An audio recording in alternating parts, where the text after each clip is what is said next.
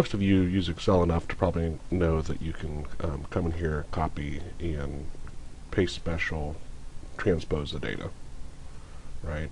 Um, I've also got it set up where if I come in here, I copy, if I right click, I can paste special, comes up that way also, right? But I made a little button up here. Um, now, but what if you're in another program, right? Let's say I was in SPSS, and I wanted to grab uh, these, and I need that in Excel transposed. Um, of course, uh, there's paste special, but this is only for Unicode and plain text. Um, and, and, notice my right right click does the same thing. Right, brings you up to that menu um, with those options. So what I did was I wrote an AutoHotkey script that allows me to transpose. It transposes whatever's in the clipboard um, without actually having to paste it first, copy, and then paste again. And it just saves me a step, and it's great because I can pull data in from any one uh, other source.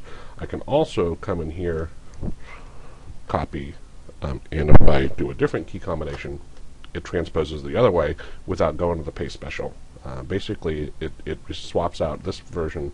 Um, these are tabs in between here, so I replace a tab with a, a re line return, and then this way I'm replacing line returns with tabs. It's very simple, but it, it definitely saves me time when I'm dealing with transposing.